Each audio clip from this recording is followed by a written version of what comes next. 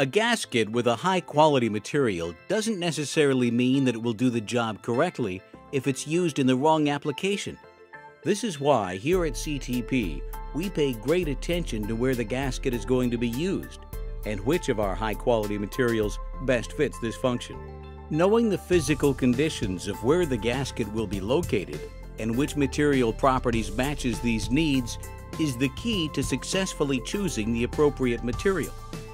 Some of the most relevant material properties considered in the selection process are temperature resistance, chemical compatibility, crush resistance, density, compressibility, recovery, and tensile and shear properties. We also carry a selection of premium materials that meet the extreme demands of the heavy-duty industry. Some of these are MP15, which is for heavy-duty applications, including compressors, diesel engines, and oil pans, among others. It has excellent low flange pressure sealability and bolt torque retention withstanding up to 205 degrees Celsius or 400 Fahrenheit.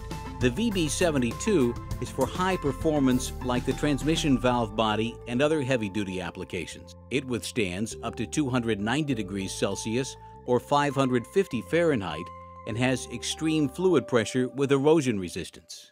Another premium gasket is the EMC 7201, which is a composite structure of high density.